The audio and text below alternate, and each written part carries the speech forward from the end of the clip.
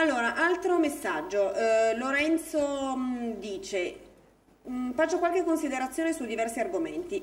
Punto primo, caso Conte. Spero che il mister e la società riescano a trovare un punto d'accordo per poter proseguire questa avventura insieme, perché sono convinto che da una separazione ci perderebbero entrambi. Champagne.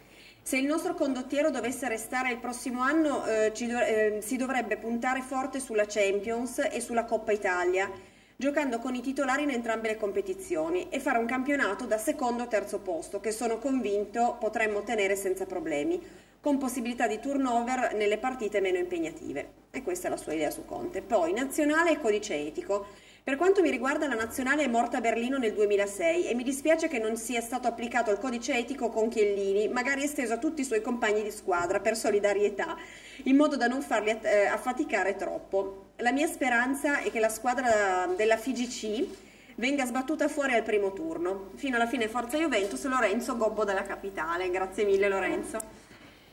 Eh, è andato sì. giù duro, eh. Sì, un sì, bel lu- tackle. Sì, sì, lu- lui è così, ma ha ragione, nel senso che, vabbè, adesso sul discorso mh, Conte, vabbè, cioè sul discorso più che altro della prossima stagione.